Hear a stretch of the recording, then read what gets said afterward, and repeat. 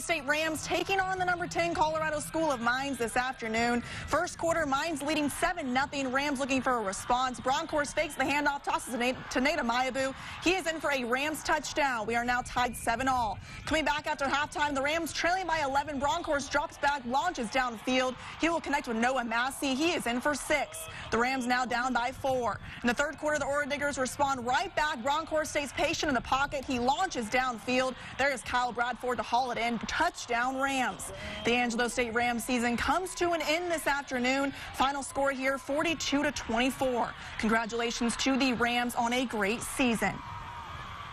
I'm so proud of this group of men, you know, and what we've accomplished uh, these last this last year. You know, uh, after the, the, loss last year and all the work that, that we put in, you know, to get uh, to where we're sitting today, you know, it, it, it, hurts right now, you know, with these guys, uh, with the people in that locker room. But uh, I couldn't be more proud of a group of men and how hard they fought. Like this is going to be a yearly thing, so just keep it going. The support means everything to us. Uh, we really feed off the crowd. Uh, just hearing them roar whenever we score a touchdown or have a big stop, uh, we really feed off that. So just please keep it coming. Trust the process. Uh, we got a lot of big games ahead, so they'll they'll be back here in September next year. So we're going to need a big crowd for that one too.